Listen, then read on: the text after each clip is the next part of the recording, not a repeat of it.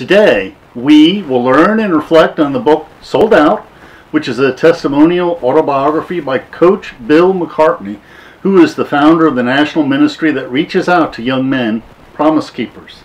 So, what can we learn from this autobiography, Sold Out? When he was a football coach, Bill McCartney became friends and a father figure for many black athletes he recruited for his national football team in the University of Colorado.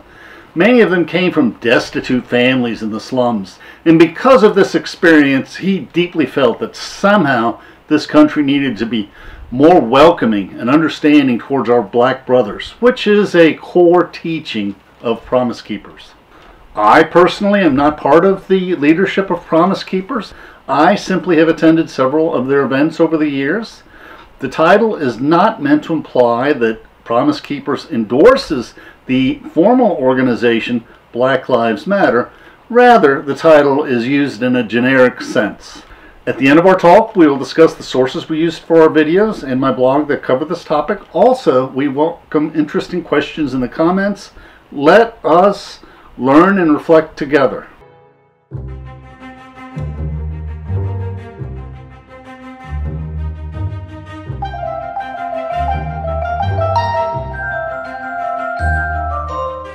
Our country is so incredibly divided. In today's racially charged atmosphere, many people who are not believers wonder are white evangelicals racist? Do all white evangelical leaders oppose the Black Lives Matter movement? And here again, I'm talking about Black Lives in a generic sense rather than a specific sense. There are many evangelical leaders who do support the philosophy of the Black Lives Matter movement. In particular, the Promise Keepers movement has explicitly endorsed racial reconciliation with our black brothers for decades. Promise Keepers was founded in 1990 by Coach Bill McCartney he was the head coach of the University of Colorado with a winning record from 1982 to 1994. His football team won three consecutive Big Eight conference titles and the national championship in 1990. While attending a Fellowship of Christian Athletes uh, banquet, he discussed with David Wardell the idea of Promise Keepers, an organization that would organize conferences that would train and teach young men on what it means to be godly husbands, godly fathers, and godly men. Now, many black athletes see college and professional sports as their ticket out of poverty. Many blacks who attend college on athletic scholarships up to that point have only known poverty. They've attended substandard ghetto schools and really have a hard life and often have a difficult time in college. Bill McCartney witnessed firsthand how the lack of opportunity for these black families affected his black athletes. One of his primary goals when founding Promise Keepers was to somehow bridge this racial gap. This is reflected in the seven promises of Promise Keeper. And this is the sixth promise. A promise keeper is committed to reaching beyond any racial and denominational barriers to demonstrate the power of biblical unity. At the first Promise Keeper conference, although Coach McCartney was elated by the attendance and fervor of those attending, the one thing that sent a chill down his spine was that the crowd was almost entirely white. Coach McCartney addressed these young men, saying that next year at Folsom Stadium we expect a sellout.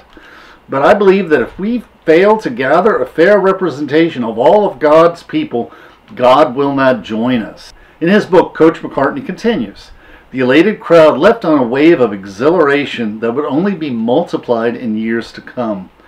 But my last remarks on the racial issue had clearly hit a raw nerve, igniting a minor firestorm of hate mail and caustic letters, chastising me, saying, How dare you imply that in a stadium filled with men glorifying Jesus Christ, that God won't be there?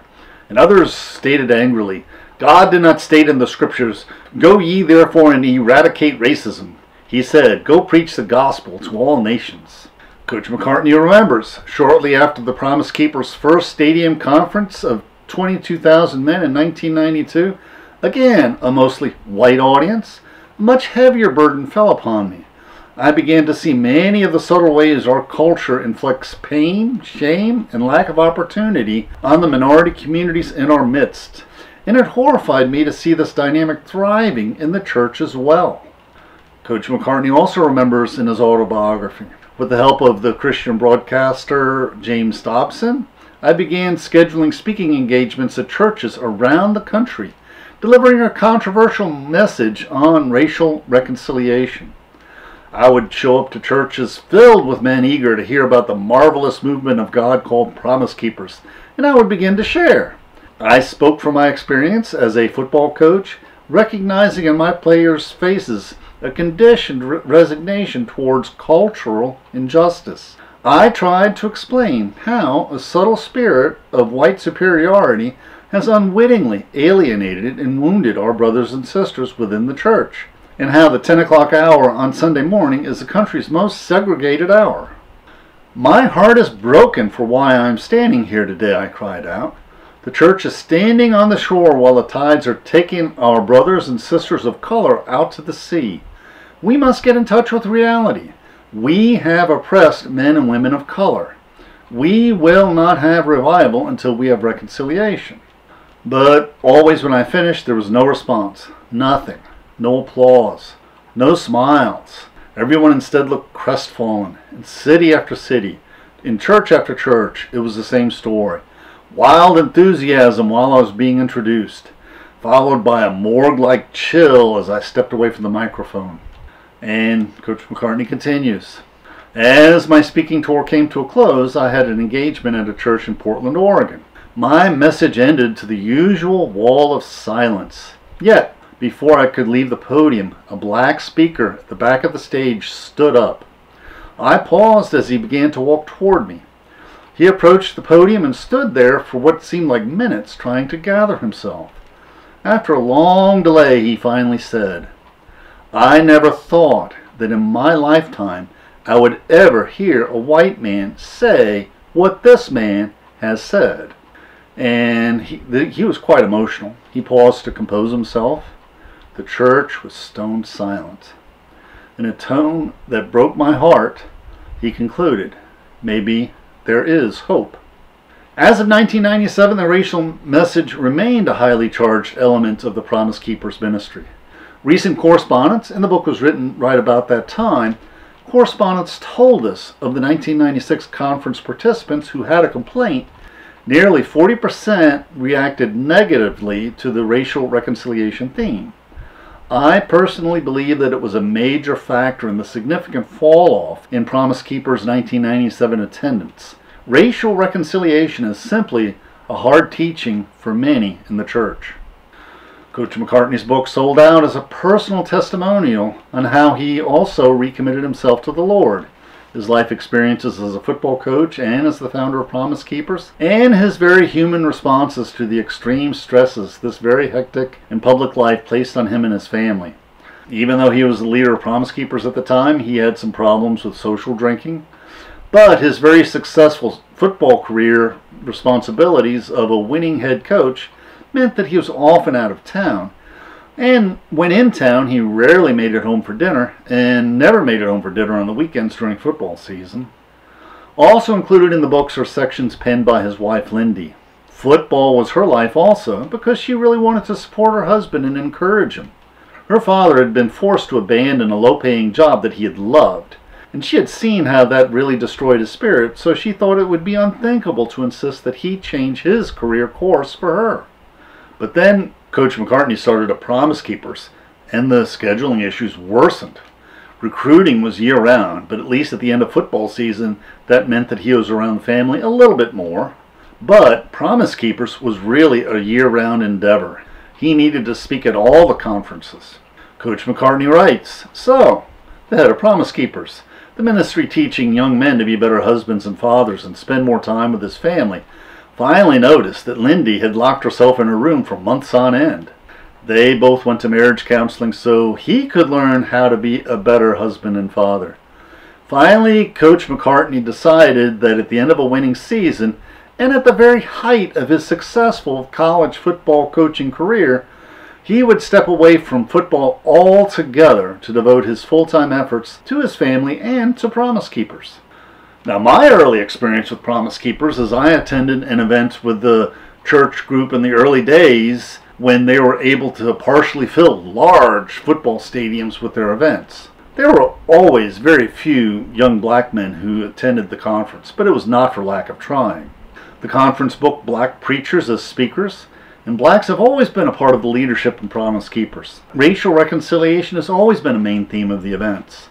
Now, getting the races to mix socially or at church can be devilishly difficult. I encountered a similar experience in my 20th uh, high school reunion. Desegregation was happening when I attended junior and senior high school. There was another black high school reunion in a ballroom near ours, and there was all kind of dancing and celebration. But in our white high school reunion ballroom, the tone was more subdued. But none of the blacks who attended our high school felt enough of a connection to attend the reunion. Promise Keepers, in my observation, was plagued by the been there, done that tendency. Many men only attended one conference. At the movement's peak, they had an event in Washington, D.C. that they promoted, a million man march. Probably 600 to 800,000 men attended. Coach McCartney was so frustrated about the lack of black participation that he made the conference fees optional for the next few conferences, but still they did not attract many black attendees.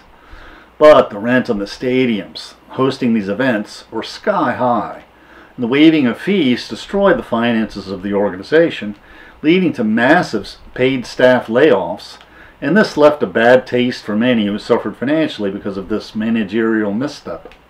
Promise Keepers after that never regained its old enthusiasm, and each year they held fewer and fewer conferences. Some years ago, Coach McCartney has had to resign entirely from the organization due to serious age related health problems. Currently, Promise Keepers is holding events. For the past few conferences, they at least try to have the keynote speaker be a young black minister, plus, they have one or more other black speakers. The ministry has been struggling for the past few years. They've held only one national event and let us pray that they will have more events in future years. Now, to discuss the sources we used for this video, on Amazon you can buy Sold Out by Coach McCartney for like a dollar plus shipping, and it is written very well with many good life lessons on how to live a godly life in today's world, including some good marital advice that we covered a little bit in the video. And of course, we have the Promise Keepers website, which we have featured in this talk and we'll have in the description also. Please click on the link for our blog and also the books we reviewed if you wish in the description below. And please subscribe to our channel and consider becoming a patron. And please click on the links for other interesting videos that will broaden your knowledge and improve your soul. Thank you.